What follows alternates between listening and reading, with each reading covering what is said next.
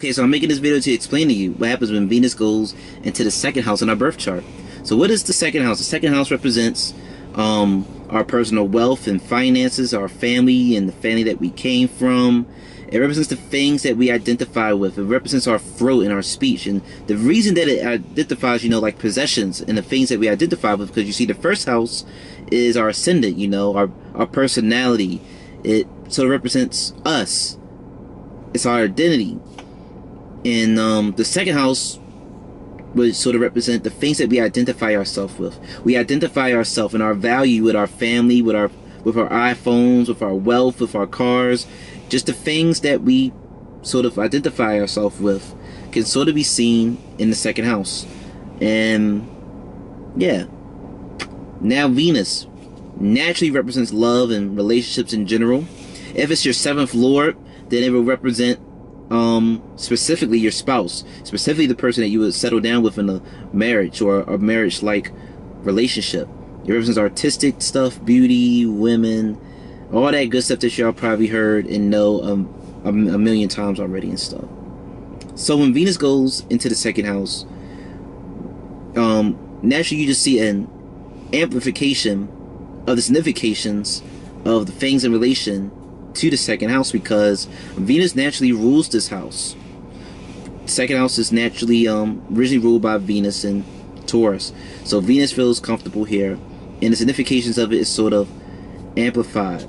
The individual here will identify themselves with the things in relation to Venus. So one of the things that you see is that someone could have a nice way of speaking or a very nice, attractive, pleasant voice someone someone here in general unless we see what's aspect in the seventh house or what's sign i mean unless we see what's aspect in the second house and um see what sign the venus is in you can be very frivolous with your cash you know what you what you spend your money on. You can spend a whole lot of money on drinking and food and maybe even drugs because the second house is your throat you know things going through your throat and, and all that. So you can spend a lot of money on that since Venus represents beauty and love and, and relationships in general, you could potentially either spend a lot of money, blow a lot of money on your partner, which that could probably happen with any placement of Venus. That's not really nothing special, but more so, there could be a signification on you wanting your partner to have wealth, to be financially um, sufficient this is really the case because from the second house, Venus would aspect the eighth house, which would represent your partner's wealth, your in-laws, and their their money and their possessions. So Venus being here can potentially sort of incline someone to being, you know, a gold digger. Of course, we have to see other planetary influences to really see this.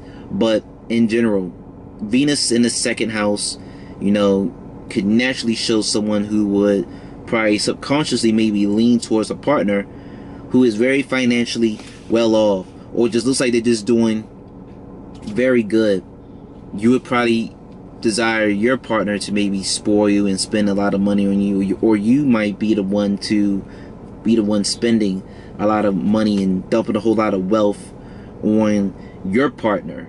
And with Venus in the second house, you might meet your most of your romantic partners maybe potentially through your um for your family or something. I don't know. I'm just con- trying to connect the dots and all that good stuff.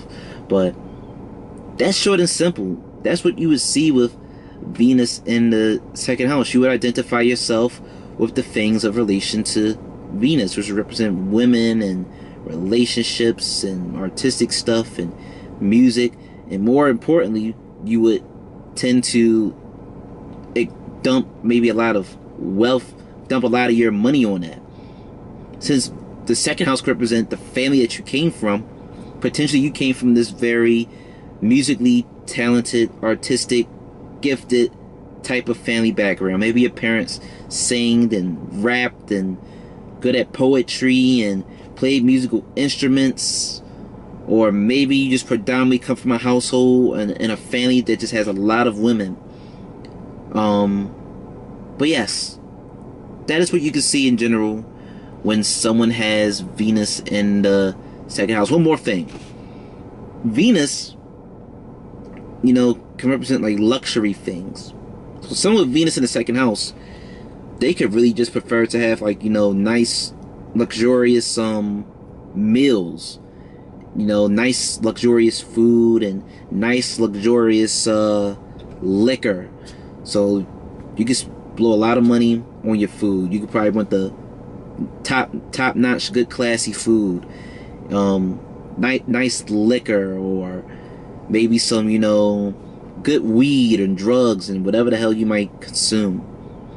But that's what I gotta say. I hope this gave you insight clarity on what happens when you have Venus in the second house in your birth chart. And thank you for watching.